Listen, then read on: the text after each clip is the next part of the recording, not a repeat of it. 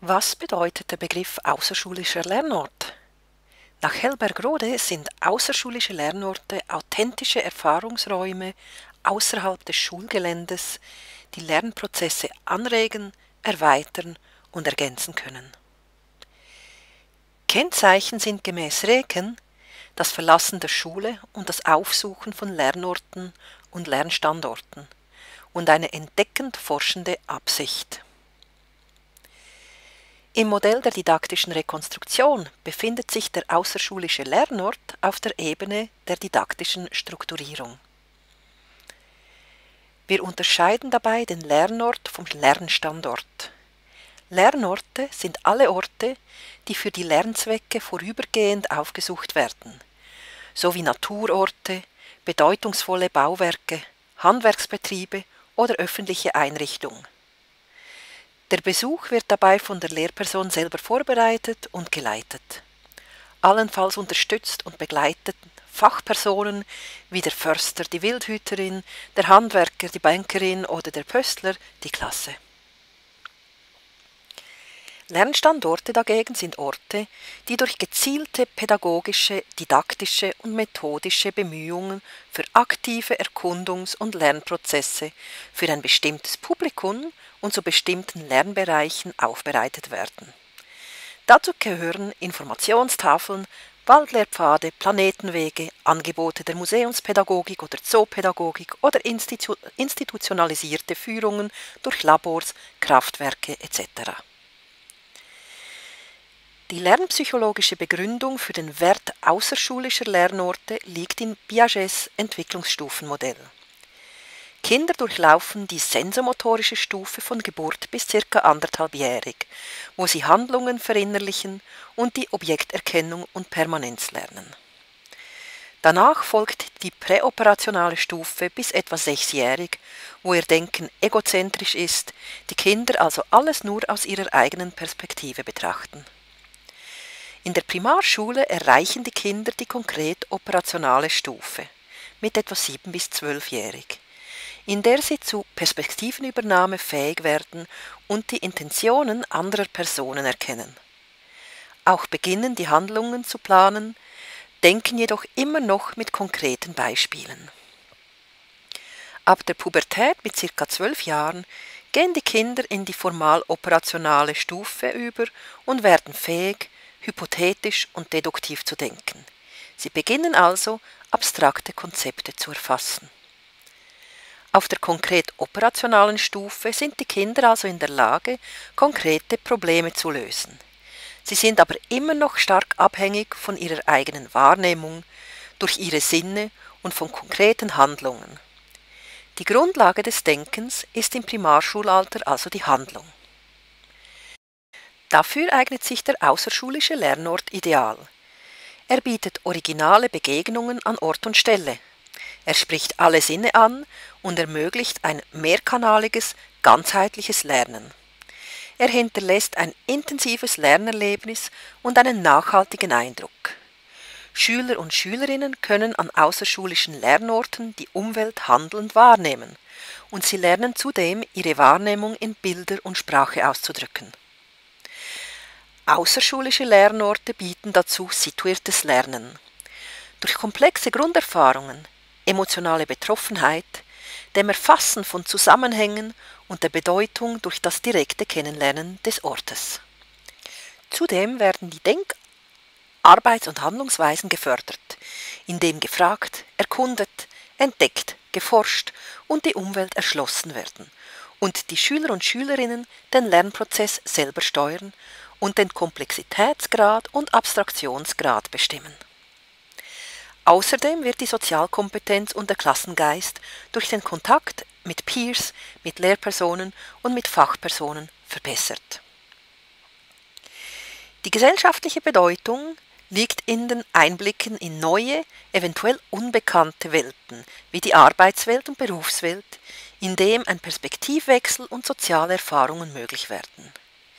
Die Natur bietet Zugang zu Wald, Wiese oder Bach und bietet Möglichkeiten, komplexe Naturvorgänge kennenzulernen, Lebensräume zu erfassen und motorische Herausforderungen zu bewältigen. Außerschulische, mediale, Sekundärerfahrungen werden zu Primärerfahrungen in der echten Welt erweitert. Der fachdidaktische Nutzen der außerschulischen Lernorte umfasst einerseits das Thema, in dem exemplarisches Arbeiten möglich ist, die Interessen der Kinder erschlossen werden können und eine Orientierung, Übersicht und Vernetzung möglich wird. Durch Präkonzepte können konkrete Vorerfahrungen erschlossen und Vorkenntnisse erweitert werden, und methodisch sind unterschiedliche Zugangsweisen, diverse Lernwege und die Förderung der Denk-, Arbeits- und Handlungsweisen möglich. Schauen wir uns nun die Möglichkeiten von außerschulischen Lernorten im Lehrplan 21 an. Ein Beispiel aus dem Kompetenzbereich 7, also der Geschichte, wäre zum Beispiel, dass die Schülerinnen als Kompetenz verstehen können, wie Geschichte aus der Vergangenheit rekonstruiert wird. Die einzelne Kompetenzstufe wäre dann, Schüler und Schülerinnen können aus Ruinen oder Bauten Vorstellungen entwickeln, wie diese in der Vergangenheit ausgesehen haben. Ein, ein, bekanntes Beispiel wäre ein Besuch in Augusta Raurica. Eine andere Kompetenz wäre, dass die Schüler und Schülerinnen Dauer und Wandel bei sich sowie in der eigenen Lebenswelt und um Umgebung erschließen können. Ein Beispiel wäre zum Beispiel, dass die Schüler und Schülerinnen alte und moderne Dinge vergleichen können, wie zum Beispiel eine alte Dampflok im Vergleich zu einem modernen ICE-Zug.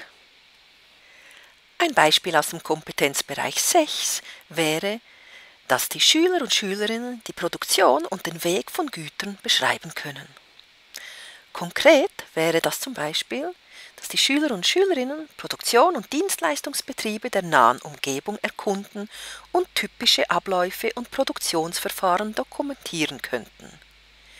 Oder dass Schülerinnen und Schüler die Produktionsabläufe von Milch, Kartoffeln, Getreide, Holz, Erz, Kulturpflanzen oder weiterem kennen.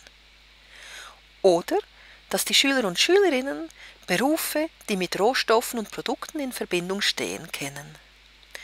Beispiele könnte ein Besuch in einer Schokoladefabrik sein oder in einer lokalen Sägerei.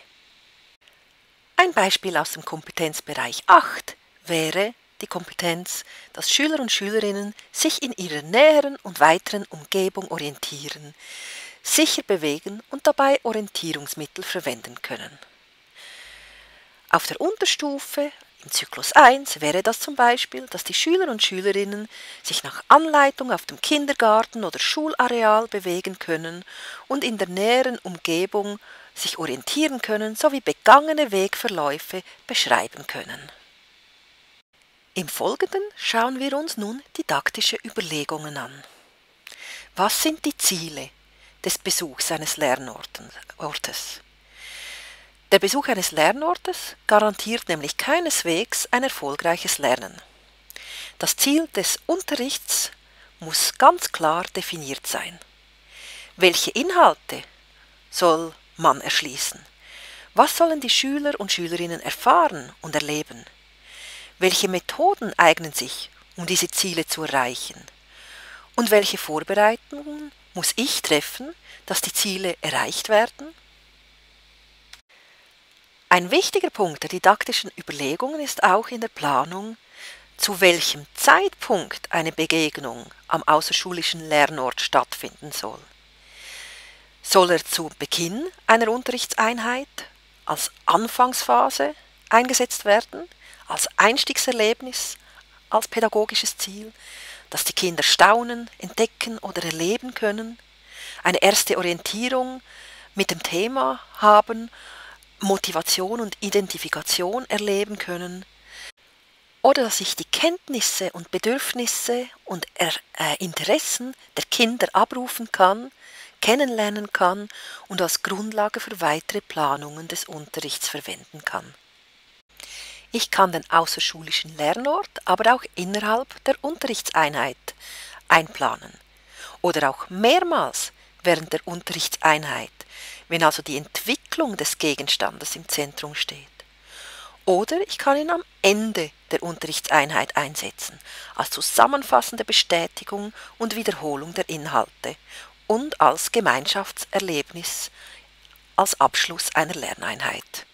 Wenn ich den außerschulischen Lernort innerhalb der Unterrichtseinheit plane, dann muss ich folgende Punkte beachten. Ich brauche eine Vorbereitungsphase im Schulzimmer, eine Einstimmung und Vororientierung aufs Thema, den Aufbau von Erwartungen und den Erwerb von Vorkompetenzen. Ich muss die Präkonzepte der Schülerinnen und Schüler erfassen, Informationsmaterial sammeln, Handlungsziele entwickeln, eventuell muss ich Fertigkeiten üben, ich muss Fragen sammeln, Dokumentationsmaterial erstellen und organisatorische Vereinbarungen treffen. In der Ausführungsphase, abhängig von den jeweiligen Zielen, möchte ich Führungen durch Fachpersonen, Fragen der Schülerinnen und Schüler mit einbeziehen und die Schülerinnen und Schüler in Einzelarbeiten oder in Lernpartnerschaften im Rahmen von kooperativen Lernformen Antworten auf Fragen suchen lassen, Interviews mit Experten führen lassen, Ereignisnotizen und frei schreiben lassen, skizzieren und frei zeichnen lassen, Muster und Belegstücke sammeln lassen oder auch fotografieren lassen. In der Auswertungsphase sind Unterrichtsgespräche möglich, also Eindrücke auszutauschen, zu klären und in größere Zusammenhänge einzubetten. Ich kann Sammelmappen, Sammelkisten erstellen lassen mit Belegstücken, beschriften lassen, sich an den gesammelten Materialien freuen lassen oder auch eine Ausstellung organisieren. Auch Texte können erarbeitet werden, überarbeitet werden, zusammengestellt werden zu Prospekten, zu Aufsätzen oder Gedichten. Es kann auch eine Zeitung oder eine Wandzeitung erstellt werden mit Erlebnissen und Erkenntnissen, die verschriftlich wurden und damit anderen zugänglich gemacht werden können. Außerschulische Lernorte haben natürlich, wie alles andere auch, ihre Grenzen und Probleme. Einerseits kann die Komplexität einer Situation zur Überforderung der Schülerinnen und Schüler äh, führen.